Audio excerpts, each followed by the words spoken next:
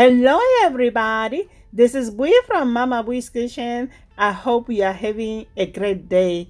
I'm back guys with another tuna salad recipe and let me tell you guys, this tuna salad is creamy, so flavorful and just so easy to make. So guys, let's get started.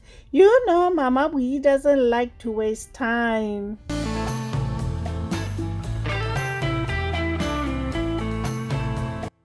So here are the ingredients you will need guys. We are going to need lightly toasted sandwich bread. I'm using my homemade bread recipe.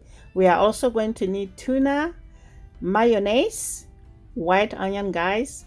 I'm using white onion, not yellow onion. We are also going to need chopped parsley, chopped celery.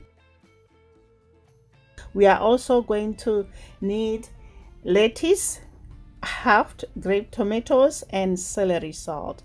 Let's get started. First things first, I'm gonna open the tuna can, then drain water from the tuna and add it to a bowl. And to the tuna, I'm gonna add white onion, celery, I'm gonna also add in chopped parsley. We are also going to add celery salt. Do not put a lot guys. Add mayonnaise and blend all that up and see if it's moist enough. It all depends how you like it guys. You might add a little mayonnaise or not.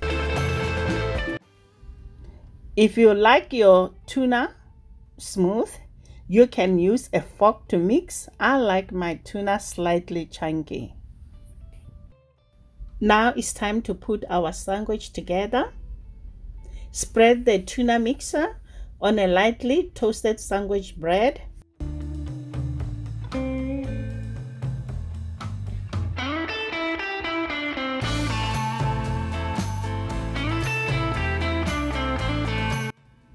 top with lettuce and halved grape tomatoes.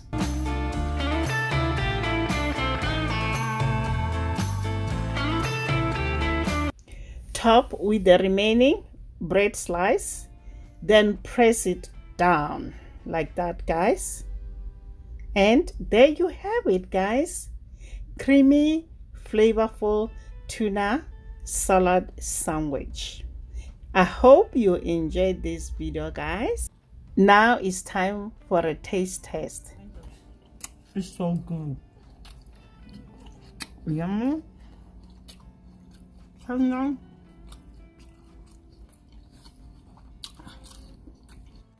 Until next time guys. Bye. Honey for my heart.